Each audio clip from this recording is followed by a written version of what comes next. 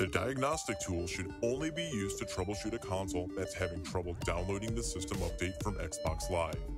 Please exhaust all other troubleshooting before attempting this process, as the diagnostic tool is a very large file and this troubleshooting process will take a considerable amount of time to complete. Troubleshooting can be found on xbox.com slash support after searching for Troubleshoot System Updates on your Xbox One console. Before we get started, to perform the offline system update diagnostic tool, you'll need a USB flash drive formatted as NTFS with a minimum of 2 gigabytes of free space, and a PC with an internet connection and a free USB port. If you are updating your system for the first time, you will still need to connect to the Xbox Live service. First, you'll need to know which OS version your console is currently running to download the correct system update.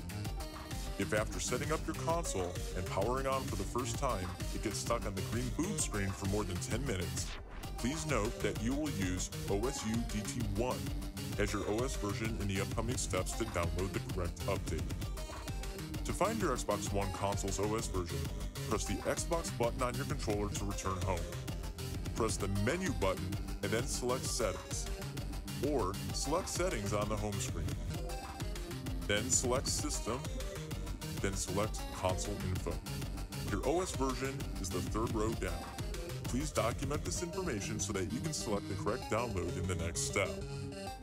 Note, if you're in the process of setting up your system for the first time, or in the middle of a system update and need to find your OS version, pull both triggers and both bumpers on your controller. The OS version is listed as build and is the second line down. Now, on your computer, plug your NTFS formatted USB flash drive into a USB port. Format the USB drive as NTFS. And remember, it must have at least 2 gigabytes of free space.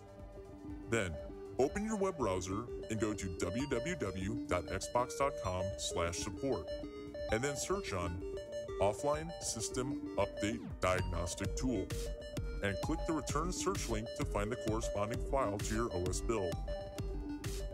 Scroll down the page and you'll need to select the correct OSUDT file link based on your OS version to be able to install properly. Select the OSUDT file based on your current OS version that you documented in the earlier step to begin the download. This download is large and it can take a considerable amount of time, and it can also vary depending on the maximum download speed of your internet service provider. When prompted, click Save to save the console update zip file to your computer. Unzip the file. If you're using Windows XP, Windows Vista, Windows 7, or Windows 8, double-click the zip file to unzip it. Then, simply copy the contents of the zip file to the root directory of your flash drive.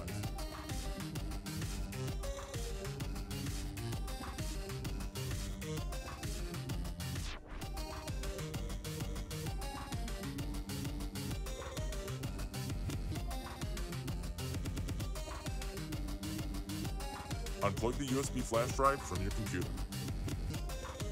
Now, let's go to your console. First, unplug a network cable if you're using a wired network connection. Then, power off your console. And then unplug the power cord to ensure that the console is completely powered off. Now, we're going to wait for 30 seconds. Then, plug the power cord back in, plug the flash drive into a USB port on the Xbox One console, and then next, we're going to press and hold the bind and eject buttons together on the console, and then press the Xbox button on the console to power it up. Continue holding the bind and eject buttons for 10 to 15 seconds. Listen for two power up tones a couple seconds apart. Note, if you don't hear two power up tones after 10 seconds, it means this failed.